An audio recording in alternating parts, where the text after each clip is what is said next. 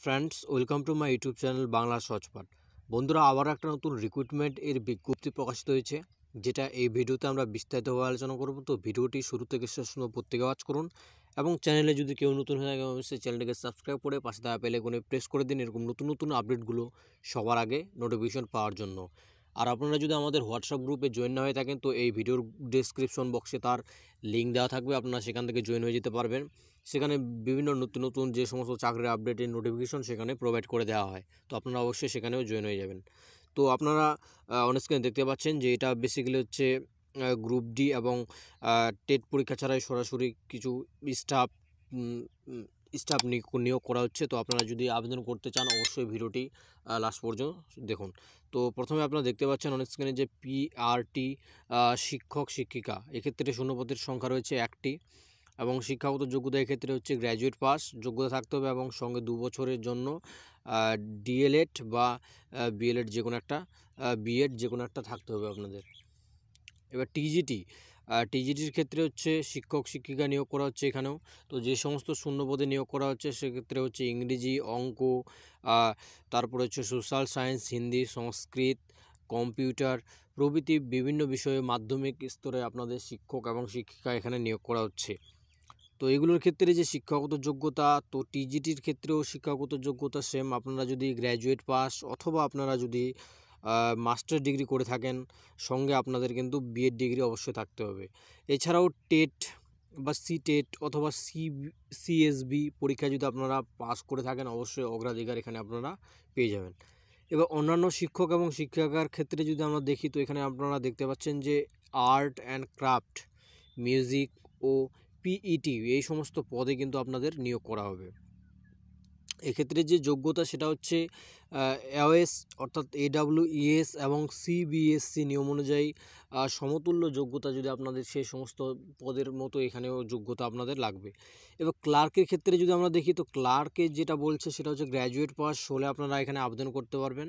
এছাড়াও ক্লার্ক পদে দশ বছরের অভিজ্ঞতা থাকলে আপনারা আবেদন করতে পারবেন। তো এছাড়াও কম্পিউটারের এমএস ওয়ার্ড এর আপনাদের কাজ জানতে হবে, অর্থাৎ মাইক্রোসফট ওয়ার্ডের কাজ আপনাদের কিন্তু জানতে হবে। গ্রুপ ডি যে সমস্ত পদে নিয়োগ করা হচ্ছে সেটা হচ্ছে প্রথমত হচ্ছে পিয়ন এক্ষেত্রে একটা রয়েছে আয়া এক্ষেত্রে দুটো রয়েছে শূন্যপদ সুইপারের ক্ষেত্রে দুটো রয়েছে ওয়াচম্যানের ক্ষেত্রে একটা, এবং বাস ড্রাইভার অন্যান্য বিভিন্ন পদে আরও নিয়োগ করা হচ্ছে। তো এক্ষেত্রে যে শিক্ষাগত যোগ্যতা, এক্ষেত্রে বেশি শিক্ষাগত যোগ্যতা লাগে না। সাধারণত মাধ্যমিক পাস থাকলেই আপনারা আবেদন করতে পারবেন। অষ্টম শ্রেণি পাস হলেও আপনারা আবেদন করতে পারবেন। তবে যারা হচ্ছে ড্রাইভার পদের জন্য আবেদন করবেন, অবশ্যই আপনাদের কিন্তু ড্রাইভিং লাইসেন্স থাকতে হবে।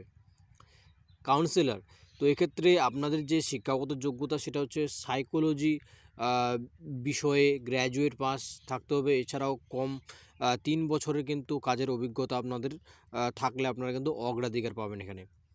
এবার আবেদন, এই সমস্ত এতগুলো পদের জন্য আপনারা আবেদন কীভাবে করবেন?